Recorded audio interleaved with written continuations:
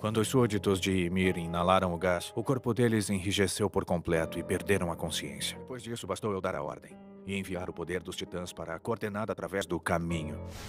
E foi assim que eu fiz os titãs daquela vila obedecerem todas as minhas ordens.